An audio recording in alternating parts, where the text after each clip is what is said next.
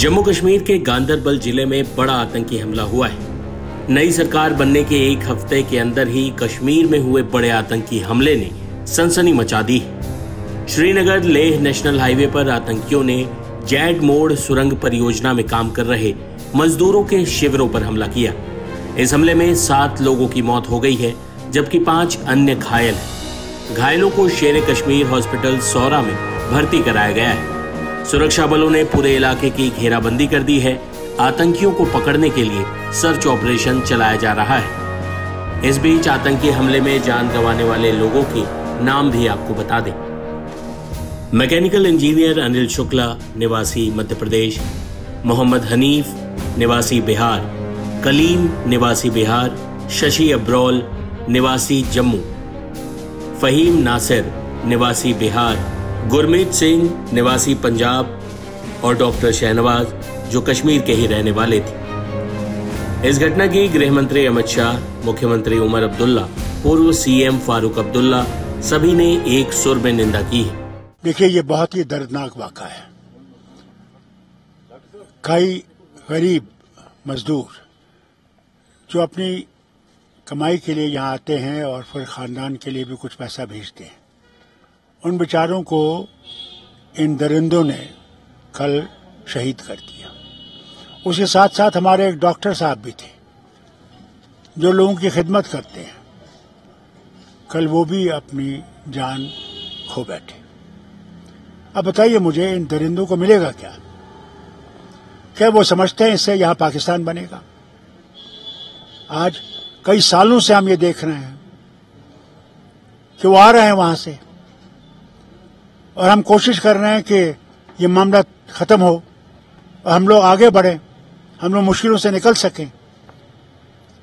मैं पाकिस्तान के हुक्मरानों से ये कहना चाहता हूँ, अगर वो सचमुच हिंदुस्तान से दोस्ती चाहते हैं तो फिर ये बंद कीजिए। कश्मीर पाकिस्तान नहीं बनेगा नहीं बनेगा नहीं बनेगा। हमें मेहरबानी करके इज़्ज़त से रहने दीजिए, तरक्की करने दीजिए। तब तक आप ये हम लोगों को मुसीबत में डालते रहेंगे। सैतालीस से आपने शुरू किया। कबाली भेजे। बेगुनाहों को मरवाया। क्या पाकिस्तान बना? जब ये पचहत्तर साल में पाकिस्तान नहीं बना, आज कैसे बनेगा? अल्लाह के वास्ते अपने मुल्क की तरफ़ देखिए, उसी तरक्की को कीजिए, और हम लोगों को अपने खुदा के पास छोड़ दीजिए। हम अपनी तकदीर बनाना चाहते हैं। हम इन मुसीबतों से निकलना चाहते हैं। हम यहाँ की गरीबी को दूर करना चाहते हैं। बेकारी को दूर करना चाहते हैं। इस आतंकवाद से ये नहीं बनेगा। आपको लगता है कि जो कल का अटैक है उसका इम्पैक्ट टूरिज़्म भी पड़ सकता है? क्योंकि देखिए वो हम सब पे पड़ेगा। टूरिज़्म तो छोड़ दीजिए। हम हम लोगों में पड़ेगा। हम गरीबों में पड़ेगा। हम लोग कैसे आगे बढ़ेंगे अगर यही चलता रहा है? वक्त आ गया कि इनको बंद करना चाहिए ये। नहीं तो जो इसके असरात बाद में होंगे तो बहुत सख्त होंगे। फिर कुछ नहीं रहेगा। तो आपको लगता है कि इंडिया को इस पर कार्रवाई करनी चाहिए? देखिए मैं नहीं जानता इंडिया को क्या कार्रवाई करनी चाहिए वो तो मरकज खुद जानता है। यह मरकज का मामला है। लेकिन एक सेटबैक है। मगर हम लोगों को सबको मुसीबत है। हम लोग कई सालों से ये देख रहे हैं। तीस साल से तो मैं देख रहा हूँ। मैं बार बार उनसे कहता था मत करो ये इससे कोई आगे नहीं चलेंगे हम। मैं पता नहीं उनकी अकल कैसी है क्या हो गया उनको। बात चल रही थी कि आपस में बातचीत होनी चाहिए। बातचीत कैसे होगी? आप हमारे बे, बेगुनाहों को मार डालें और फिर कहें बातचीत करो। कैसे बातचीत होगी? पहले मारना तो बंद करो और बेगुनाहों को मार रहे हो। इस बीच वरिष्ठ बीजेपी नेता गिरिराज सिंह ने तो कश्मीर में हुए आतंकी हमले के लिए राहुल गांधी और फारूक अब्दुल्ला को ही जिम्मेदार ठहरा दिया है। सुनिए क्या बोले गिरिराज सिंह। ये दुर्भाग्य है कि बिहार के लोग मारे, मरे हैं। हम उस परिवार के प्रति संवेदना व्यक्त करते हैं। लेकिन राहुल गांधी से पूछता हूँ और फारूक अब्दुल्ला से, जब आतंकवादियों के समर्थन देने वाली पार्टी की सरकार हो तो ये घटना होना स्वाभाविक है। इनकी ज़ुबान तो खुलेगी नहीं। ये तो गाजा के लिए ट्वीट करेंगे। ये तो बांग्लादेश के हिंदुओं के लिए ट्वीट करते नहीं। उसी तरह से अभी हिंदू अगर मारा गया है और आतंकवादी हुआ है, सरकार तो अब उन्हीं की है। तो मुरसैया कोतवाल तो डर काहे को। एक गाँव की कहावत है ये। उन, अब डर काहे रहेगा गाँव में। क्योंकि उमर अब्दुल्ला, मुख्यमंत्री राहुल गांधी, संरक्षक, फारूक अब्दुल्ला, डायरेक्टर अब पाकिस्तान से बात करेंगे।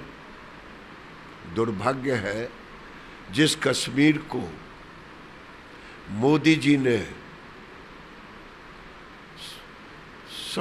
शांति लाया, रोज़गार लाया, माहौल लाया, उसको फिर ये फारूक अब्दुल्ला और कांग्रेस की सरकार बिगाड़ेगी। स्टेट हुड की लगातार मांग कर रहे हैं, लोग ले कर रहे हैं।